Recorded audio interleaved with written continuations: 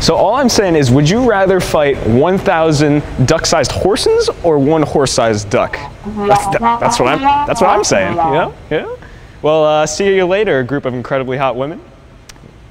Are we recording? You know what's more American than football? Superstars. I made a little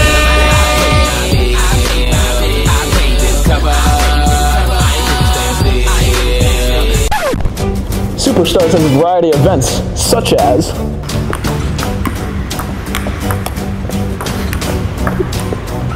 ping pong,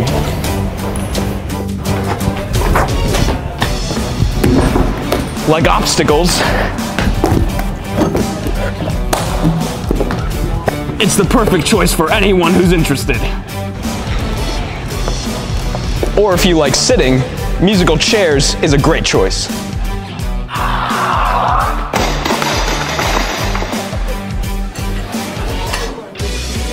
Or weightlifting. Superstars is a chance to show off your athleticism and how swole you are. Those are just a few of the events at Superstars. Hey Brian, go long.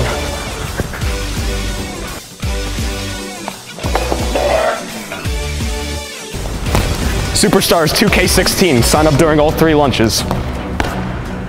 Catch you later, Wilson.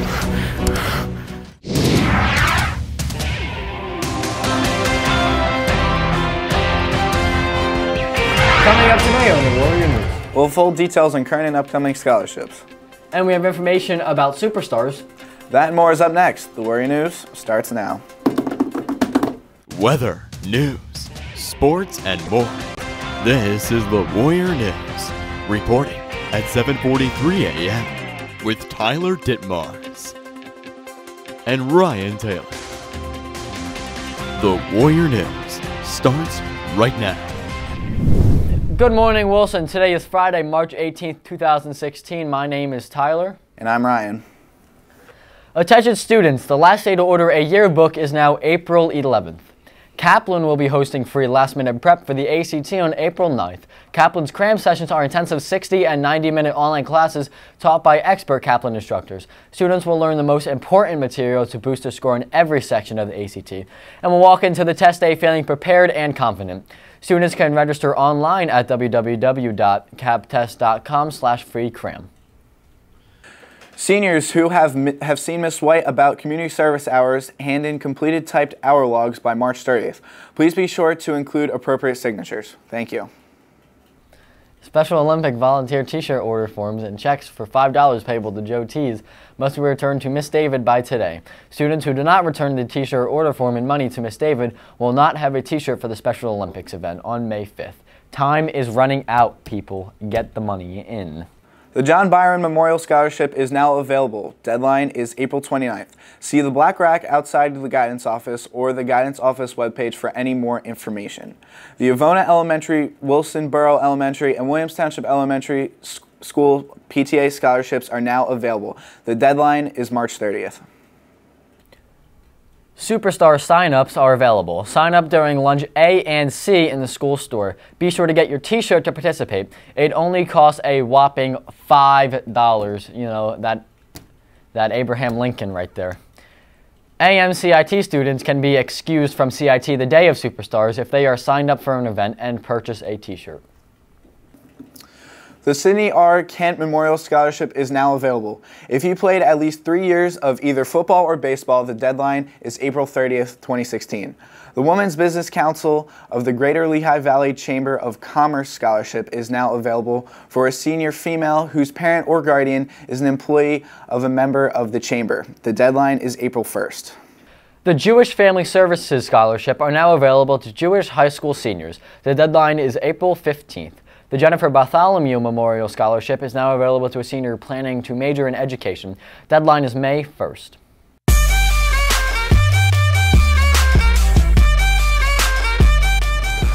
Good morning, Wilson. It's your favorite movie reviewer, previewer, critic, Ryan O'Brien. And we're here today to discuss what films you should see while on your fantastic spring break from Wilson High School. The first film we have is Midnight Special, directed by Jeff Nichols. It's been compared as a modern day version of the classic Steven Spielberg film E.T., where a father learns that his son has supernatural powers and he must try to outrun people trying to capture his son for these powers. It looks amazing and it premiered at a few film festivals already and has rave reviews. The Second film we have is called The Program. It is the story of the journalist who uncovered the uh, Lance Armstrong uh, controversy where it was discovered that he was doing steroids, which is directed by Stephen Frears, an Oscar-nominated director. Looks very intelligent and looks like it could be nominated for a few awards if it was released later in the year. I'm still excited to see it though, because the story looks very interesting.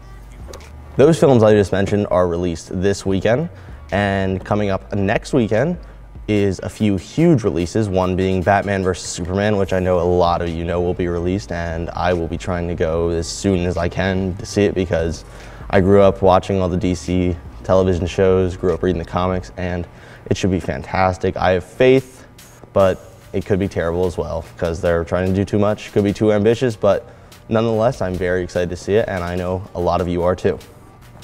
Another film that was already been released, but you should definitely check out is 10 Cloverfield Lane, which is the sequel, kind of, to the 2009 film Cloverfield about a giant monster tearing up a city. This one is going a, bit of a different direction where it's more of the monsters of humanity and starring John Goodman, a few other actors, very small budget film, but it's supposed to be terrific, horrific, and it's supposed to be a massive thriller that you should definitely check out if you have time to go to the theater over break. I've been Ryan O'Brien, and this has been your spring break film preview. Dismissed. Before we go today, reminder to the senior class. The class photo will be taken on Tuesday at 10 o'clock in the morning on the front steps of the building. This is the day that we return from spring break, so remember to dress nice. This is all we have for today, Wilson. Enjoy your spring break. Have a great spring break. We're out of here. April. Just to come back, literally. But does that mean that Caleb Corley is Illuminati? What are you doing? You could. You have. Yeah, now you have the opportunity to speak to young kids.